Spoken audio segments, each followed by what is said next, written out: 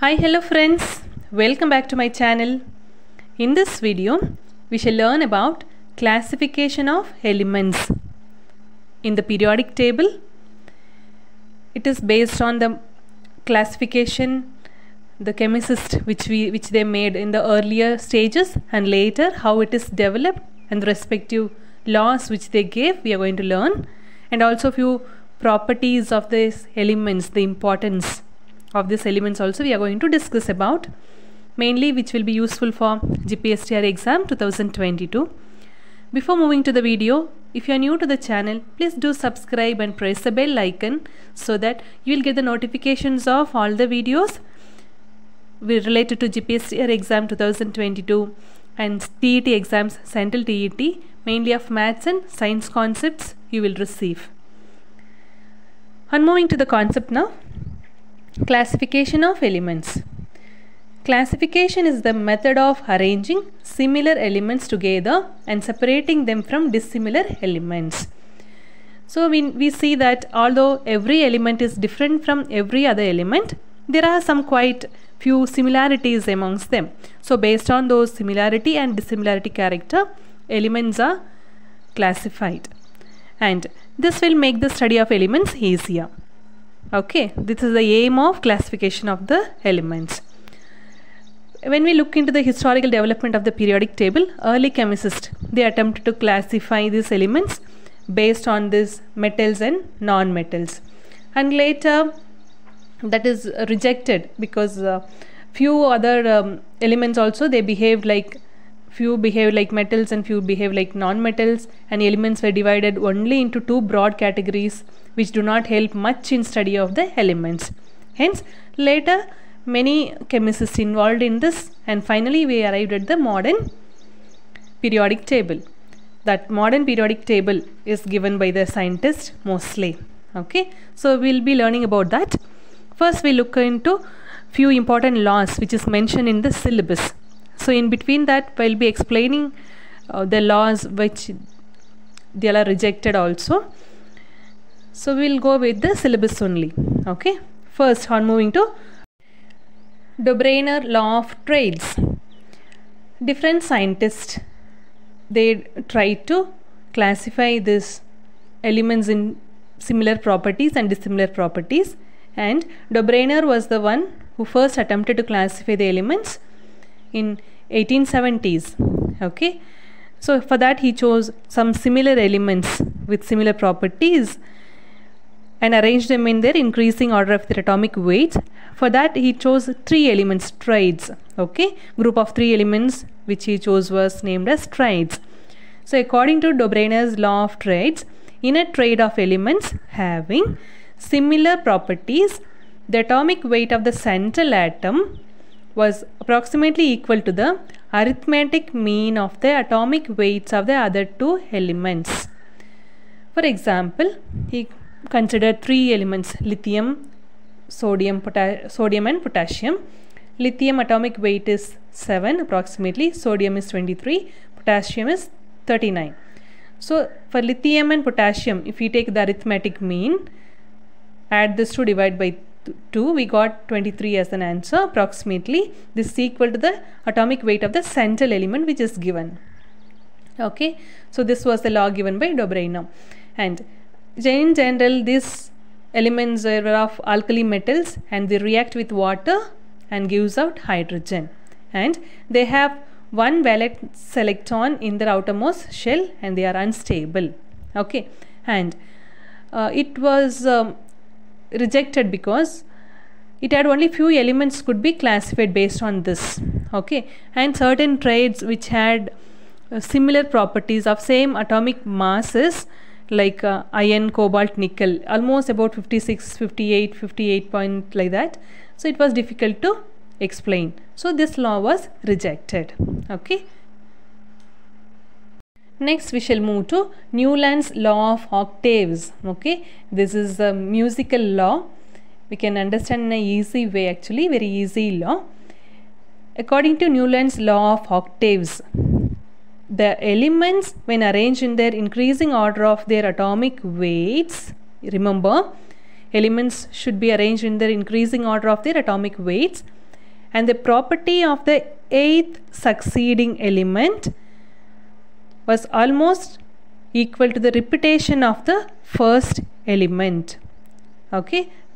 So that was the first and the eighth element were found to have the similar properties. Okay such octaves if we consider from hydrogen lithium beryllium boron carbon nitrogen oxygen and next one is fluorine.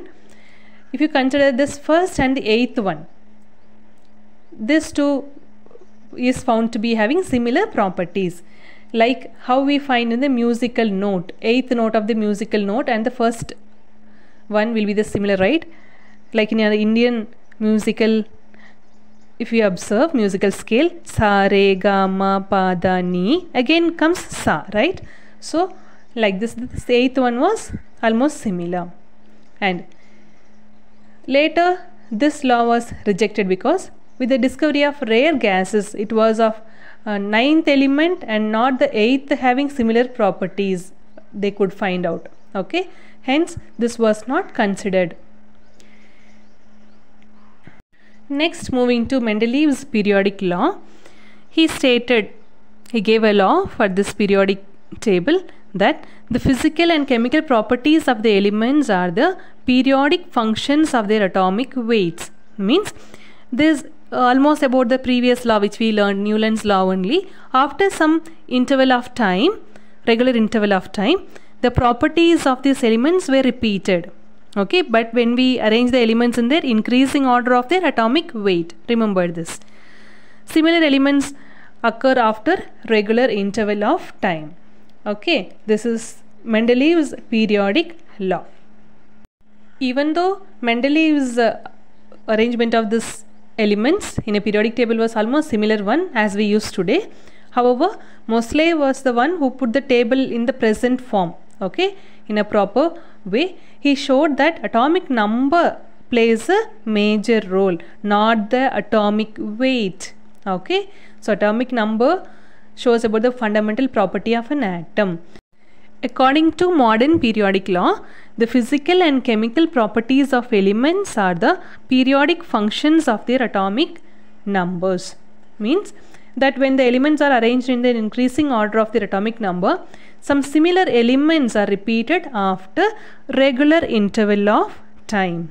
Okay, and hence based on this, a new periodic table that is long form of periodic table was constructed. Okay? Which we use today that is modern periodic table. The long form of periodic table or the modern periodic table present which we use today contains 118 elements and these are the few important points we have listed out. And later you can add up few more points also which are important. You can glance. Already you might have learned. Just I have listed only few points here. Okay? The elements they are arranged in the increasing order of their atomic number. And we know that there are seven rows in a periodic table these seven rows are called as periods. Usually this periods plays an important role in this periodic table okay?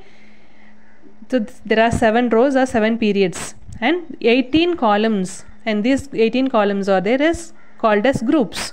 And when you move to this periods shortest period is the first one. And short one is the second and the third ones. They have eight elements only. The shortest one contains hydrogen and helium only okay first period. Like this horizontal when we check it out. And the long period is period 6 contains 32 elements. And the seventh period is incomplete period. Okay this is also of course a long period. And in a period each element has an atomic number one unit greater than the preceding element. Okay as atomic number goes on increasing. And there is regular changes in properties of the element in a period as we move from left to right. That means example there is transition from metallic to non-metallic character across a period from left towards right. Okay?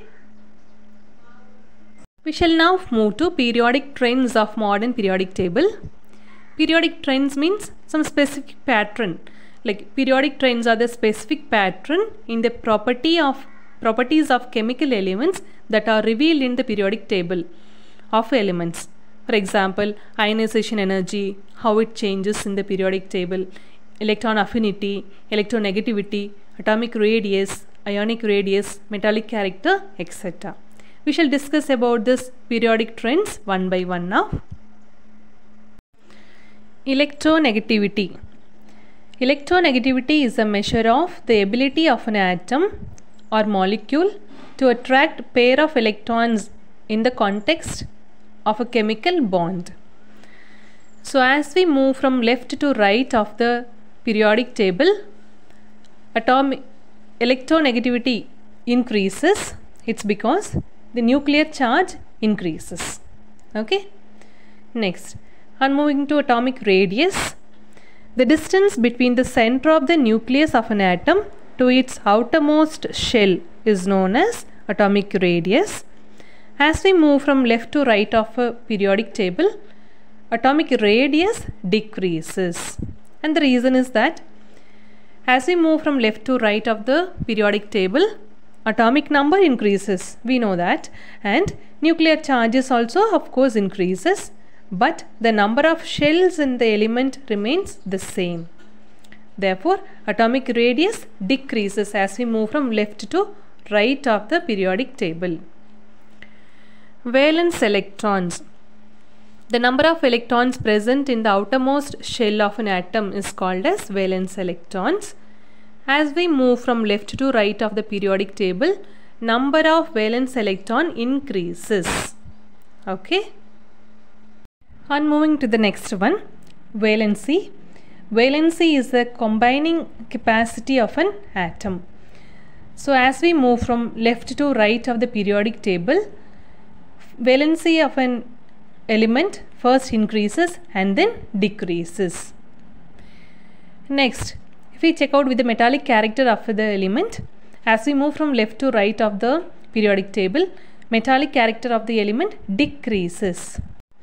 Whereas non-metallic character of an element increases as we move from left to right of the periodic table.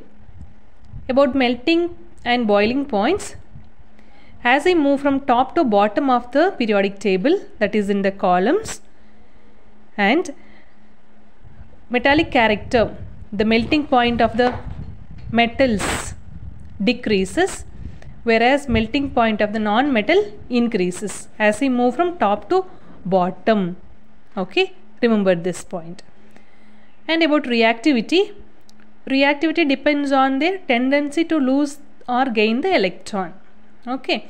So um, since the metallic character decreases as we move from left to right of the periodic table reactivity decreases and then it increases.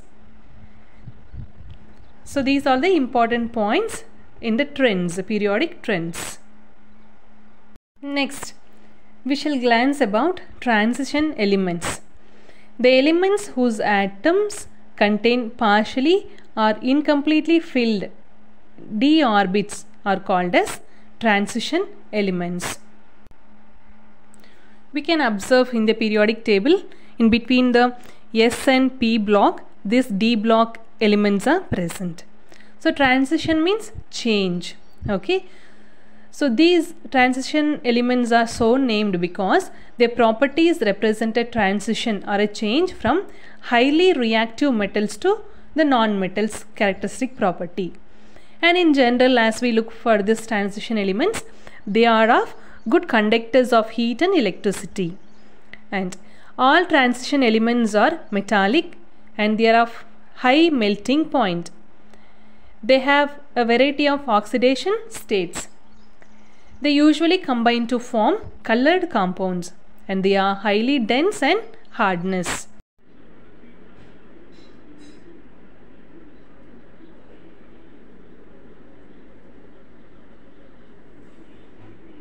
Next, inner transition metals.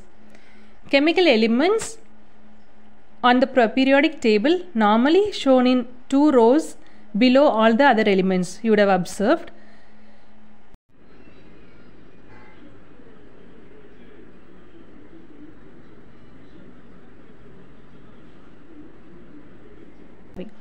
Let us discuss about lanthanides first and then we'll move to the actinides. Lanthanides they have one valence electron in the 5D shell. The elements share common properties with lanthanum and they are reactive especially in silver colored metals. Uses of lanthanides. The compounds of lanthanides are used as catalysts in the production of petroleum and synthetic products. Lanthanides are also used in optical devices that is in the night vision goggles. Their oxides are used in ceramic industries to color the ceramics and glasses. Okay, actually there are various uses. I have listed only the important and few uses. Okay. Next, actinides. They are radioactive in nature, all of them, and highly electropositive in character, and they are pyrophoric. That means spontaneously ignite to air when it is exposed to air, and especially they are nuclear um, radioactive in nature. Hence, they are used in nuclear reactors, especially nuclear weapons also.